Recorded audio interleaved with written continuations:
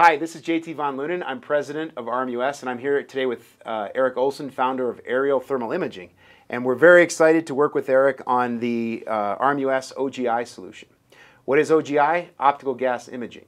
So Eric, tell us a little bit about what you've created here. Uh, we've got the FreeFly Astro as the platform, and uh, you've developed the payload for this as well as uh, the software, which we're really excited about. We'll talk about both of those in just a minute. Sure.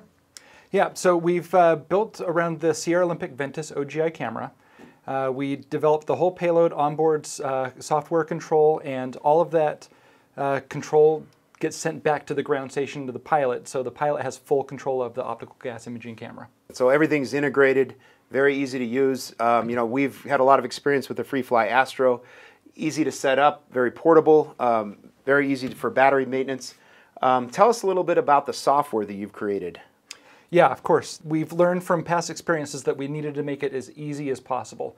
Uh, we wanted uh, one button to create some type of actionable data, some kind of data that can be ingested into an LDAR software.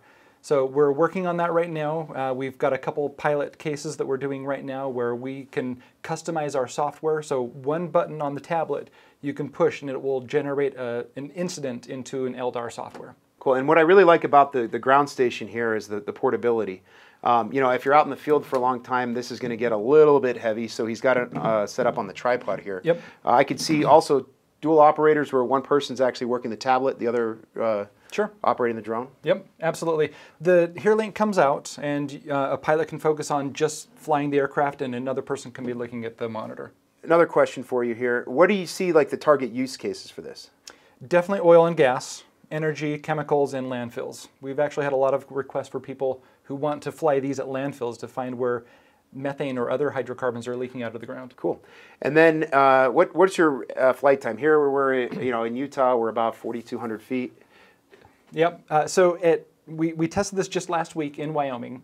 Uh, we were at 6,500 feet uh, MSL, and the temperature was 19 degrees Fahrenheit and we were able to fly it for 22 minutes. Oh, excellent. We also flew it in Texas quite a bit, and we were able to get over 25, sometimes almost 30 minutes.